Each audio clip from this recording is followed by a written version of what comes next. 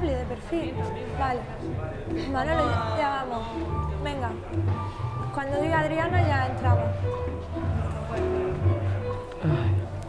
Está- la música esta está más alta. ¿Ya? ¿Está grabando?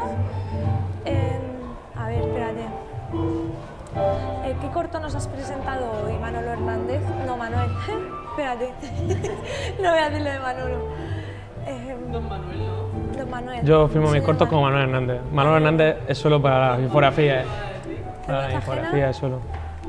Vale, ya. Vergüenza ajena es el corto que has presentado en esta muestra, corto a corto 2007. ¿Nos puedes contar un poco de qué trata? ¿Cuál es el tema principal? Sí, mi corto, Vergüenza Ajena, trata de, de dos parejas eh, entendidas de una manera un poco, poco convencional. ¿no? Eh, por, un- por una parte tenemos la pareja eh, principal, la pareja protagonista, eh, que es eh, las dos partes de una misma personalidad. No es como la novela de Jekyll y Hyde, que son la parte emocional y la parte racional, no es una distinción tan clara.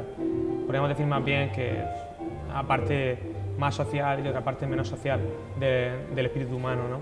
La parte que, es racional, que, se centra en sí mismo, que, que construye su mundo, ¿no? Y la parte que se relaciona con los demás. Esas son las dos, las dos partes principales de, de- que son la, pareja protagonista de este cortometraje. Eh, por otra parte tenemos la pareja de psicólogos, que son amigos suyos, eh, que son una pareja convencional, una pareja chico y una chica, nacieron juntos, estudiaron juntos, se enamoraron, que a su misma vez también tienen una crisis. Y sobre las dos crisis de, de estas dos parejas es como se traza el, el argumento de este cortometraje. Como director, eh, siempre que se hace algo, una obra, una película, un cuadro, siempre se quiere transmitir algo al público. ¿Qué es lo que ha querido transmitir usted? Bueno, pues yo seguramente quiero transmitir muchas ideas porque es una de, de mis características como director que tengo muchos contenidos y, y- y en ese sentido es bastante complejo. ¿no? La principal idea es que la personalidad humana es, un- es dinámica, eh, siempre está en evolución y que además está en conflicto. ¿no? Y son, es el conflicto de, de esta personalidad la que mueve el argumento de la historia. ¿no? por otra parte, mm, que reflexionar un poco, ¿no? No dejar nada claro, eh, no responder preguntas, pero sí plantearlas en torno a qué es la amistad, qué es, el, qué es el amor eh, y también un poco cómo una, una amistad puede ser tan, eh, tan intensa, ¿no? tan, tan íntima que coarta tu libertad, ¿no? se transforma casi en una pareja, de, bueno, en cierto tipo de pareja, porque no todas las parejas serían así, claro. Eh, ahí va un poco de especulación. ¿Le ha, llevado, ¿Le ha llevado mucho tiempo realizar este corto? Bueno, la realización, lo que es el rodaje, eh, fue un mes, básicamente. Lo que pasa es que, bueno, dado la naturaleza del corto, que la gente no cobra, por ejemplo, los técnicos no, no cobran, eh, los actores tampoco, pues claro, se tiene que tender siempre a buscar horarios compatibles con, con la vida de cada uno, ¿no? Algunos son estudiantes, otros son eh, trabajadores, entonces siempre buscamos fines de semana, tanto es normal que, que se llegue a, a un mes de rodaje, ¿no? ¿Es, es Eh. difícil realizarlo cuando hay tan escasos medios? Bueno, eh, madre mía, me he cortado. No pasa nada. A ver. Lo hago de nuevo. Ujú. ¿Ya? Ah,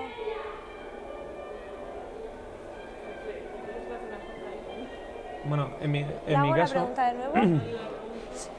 ¿Es difícil llevarlo a cabo cuando hay tan escasos medios para, para realizarlos? hombre, yo en mi caso siempre, eh, siempre no, pero en esta ocasión tuve la ocasión de beneficiarme de una subvención de la comunidad autónoma y eh, cosa que agradezco bastante evidentemente y por eso pude realizar el cortometraje, si no, no hubiera podido ser realizado. ¿no? Eh, las ideas son siempre realizables, lo que pasa es que eh, la diferencia entre, yo qué sé, una película normal y Titanic, ¿no? evidentemente hay presupuestos mayores para ideas más complejas o más difíciles de llevar a cabo, que no siempre la complejidad de la idea, sino evidentemente los medios re- requeridos. Supongo que estará contento de participar en esta segunda muestra de cortometrajes de la región de Murcia en Corto a Corto 2007.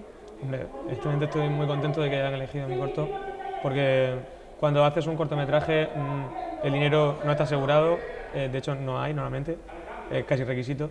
Eh, el reconocimiento, el de tus amigos, el de tus familiares y algunas veces tienes la, oportunidad, la suerte de que se ponga en público. y en esta ocasión ha sido así, de lo cual me alegro mucho porque si no, no lo, no lo vería nadie. ¿no?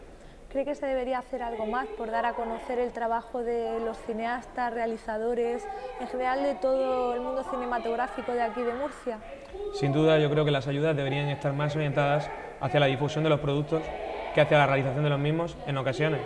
Porque sí, se, producen muchos cortos, incluso se han producido largometrajes en la región de Murcia, pero la difusión de las mismas a veces está comprometido, porque claro, eh, la comunidad autónoma los financia, pero no facilita su difusión en ocasiones.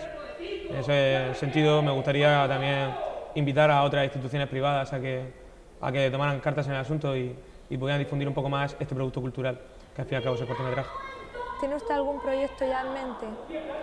Eh, ¿Algún proyecto en este momento? Sí, bastantes, muchísimos. Tengo más proyectos que medios para realizarlos y, y por eso me gustaría poder dedicarme unos cuantos meses a, a ir con todo el trabajo pendiente que tengo. Ahora mismo hemos realizado un cortometraje, hemos rodado, pero bueno, todavía está la postproducción, el montaje. eh, esperemos que salga bien. Vamos, que está totalmente convencido de que se va a seguir dedicando a este mundo, a pesar de que, como hemos comentado, a veces pues las subvenciones o las ayudas o la difusión pues no es la que en, en general nos gustaría al público. A mí personalmente me gustaría trabajar en los audiovisuales. Actualmente trabajo en los audiovisuales, pero me gustaría dedicar mi vida a trabajar en los audiovisuales de una u otra manera. Cortometraje es una manera que tengo de expresarme y, y de aprender sobre todo. Y siempre que pueda voy a realizar cortometrajes. Siempre que me den ayuda, siempre que me ayuden mis amigos y mis familiares, siempre que pueda voy a realizarlos. Pero si ese es el objetivo final, no lo sé. Yo creo que el, el cortometraje es más un medio que un fin en sí mismo. ¿no? O sea, realizar siempre mejores trabajos, ¿vale? ¿De qué? En este momento estamos haciendo cortometrajes, cortometrajes. Luego ya veremos, ¿no? Vale, muy bien, muchas gracias Manuel. A ti.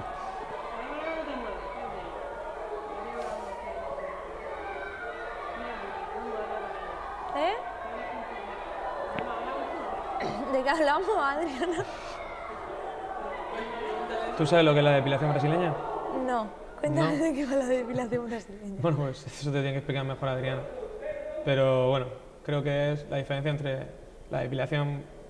¿Cómo era Laura? Muy, muy de puta. la depilación brasileña, ¿te acuerdas de la diferencia?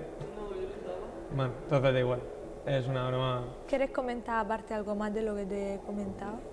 Sí, eh, me gustaría comentar que casi todos mis cortometrajes están basados en, en la, en la experiencia que yo he tenido, pero no tanto una experiencia vital como una experiencia didáctica. ¿no? Los libros que he leído, las películas que he visto e incluso lo- los, temas que he estudiado. En ese sentido, en este cortometraje se puede ver que tiene mucha temática psicológica, porque bueno, yo, yo estudié psicología y, y claro, en ese sentido se nota ahí un poco mi interés por, por estos temas, ¿no? Por el tema psicológico, el tema de la personalidad, que es muy complejo, ¿no? Eh, lo que pasa es que no está entendido desde un punto de vista científico, sino desde un punto de vista artístico. Es una pequeña licencia que yo me permito, pues porque he conocido esa otra perspectiva y me permito decir, bueno, pues vamos a ver cómo lo ve, cómo lo ve la literatura, ¿no? En ese sentido, la idea que tiene de la personalidad humana es más parecida a la de un libro, a la de una obra de arte, que a la de un libro de psicología. Eso sí, me gustaría aclararlo. Aclararlo. Muy bien. ¿Qué haber hecho?